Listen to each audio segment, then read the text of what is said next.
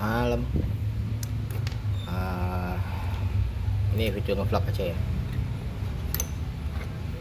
Ini motor Darwin. Uh,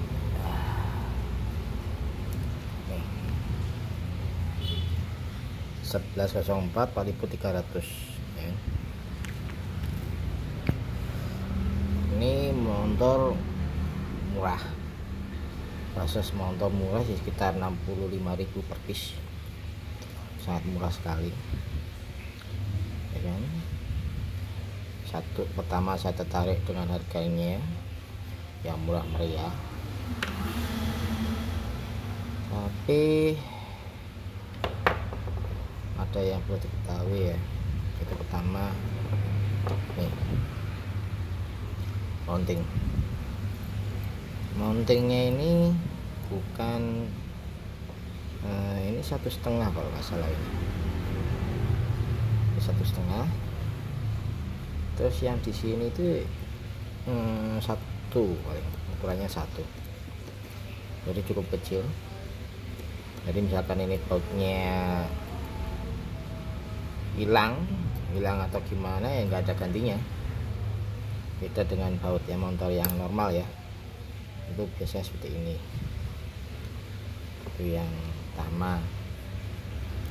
Kalau saya bandingkan dengan ah,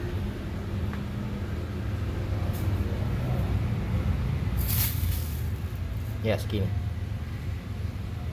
oke. Jadi cukup jauh. Mungkin kurang gede mungkin kurang gede sedikit itu kendalanya motor ini yaitu ya bautnya ini. Kalau hilang ya tak tahu lagi gitu. terus yang kedua ini. Uh, mounting prop ya. Mounting propnya ini pakai satu setengah. Tapi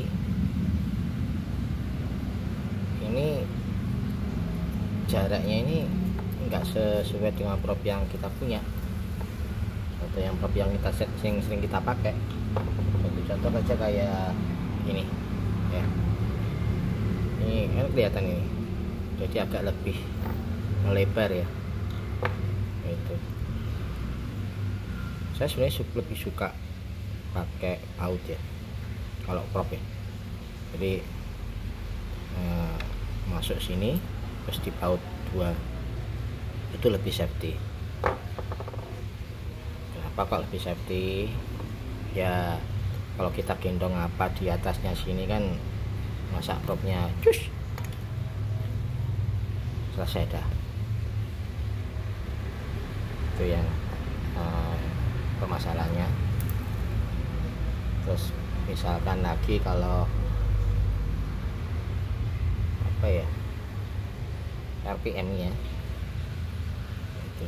Jadi RPM nya kan ini kadang ini kan oke okay lah dibuat seret ya. Tak nggak longgar gitu ya. Tapi namanya putaran pasti ada gesekan. Tujuannya baut kan untuk menahan. Aduh pusing nih motor.